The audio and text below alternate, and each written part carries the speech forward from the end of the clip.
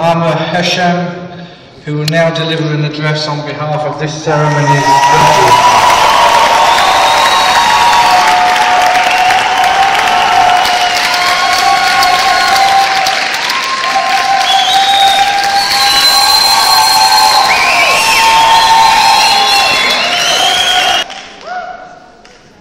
Bismillah. Good afternoon, ladies and gentlemen.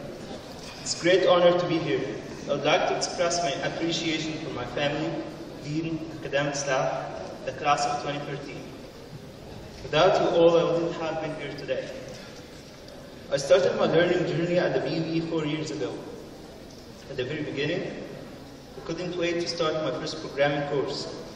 However, I learned later on that I won't be doing any programming until the second semester.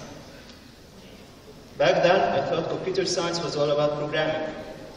However, as the years passed, it turned out not to be true. Computer science turned out to be an ocean of knowledge in which the programming serves. The second year was a milestone for me. I believe it was the turning point of my life. I started learning more about life through meeting new people and making new friends and connections. During this year, my soft skills started to improve. My presentation skills flourished thanks to the torture of my professors. My leadership skills also started to surface. I believe the most important year was the senior year. That was the year when I was made ready to make the move into real life. The graduation project alone was enough to prepare me to work under pressure. I believe it was my biggest achievement up to the current point. Today, I'm a teaching assistant at the BUE. I believe this is the most valuable reward I received for my hard work during the past four years. I'm currently enjoying my job as I'm trying to give back to the place where I learned the most throughout my whole life.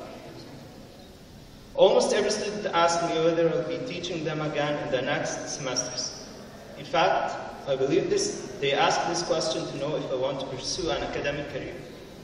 To be honest, I'm planning to pursue an academic career for a few years, however, I might be exploring new grounds afterwards. Last but not least, I would like to recall my two friends who couldn't make it today. Ahmed Nader and Ahmed Ali. May their souls rest in peace. I also wish Amr Gamal was here. He sent a message on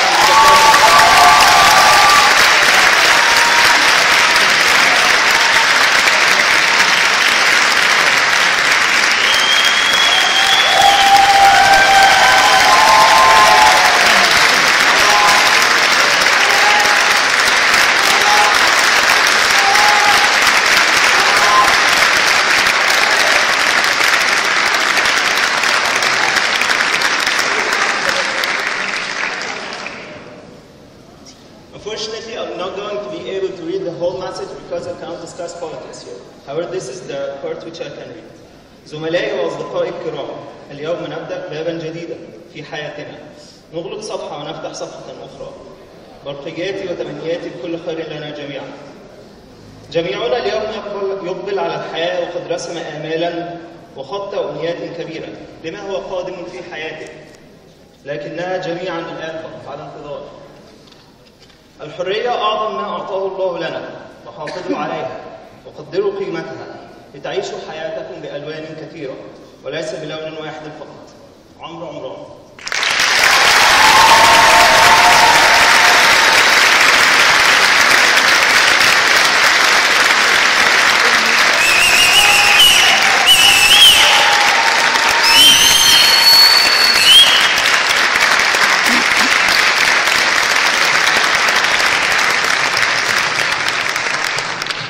Class of 2013, today life begins. Thank you.